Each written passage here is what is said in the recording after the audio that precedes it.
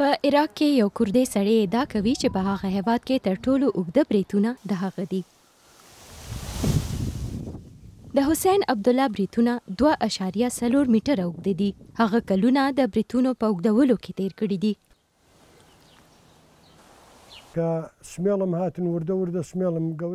ما خپل بریتونه اوږدول پیل کړل او په ورو ورو راته خلکو حسین ابو شوارب یا حسین بریتور سړی ویل شروع کړل په 1994 کال کې چې کله ما د فرجونو او فریزرو د مرمت کار کاوه د ویلډینګ په وخت مې په یوه پیښه کې مخ او بریتونه وسوځیدل واپس په بریتونو اوږدولو کې ډیر کلونه تیر شول خو ورو ورو مې بریتونه اوږده کړل چې تر اوسه یې لرم.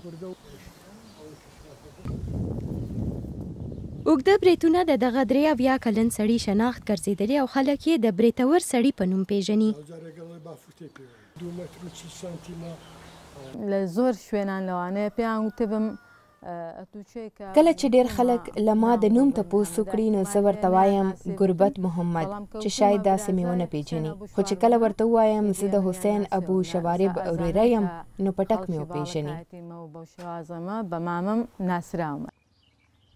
عبدالله هیله من دی چې د ګینیس په نوم د نړۍ د ریکارډونو په کتاب کې د تر ټولو اوږده برېت لرونکي سړي په توګه نوم شامل شي.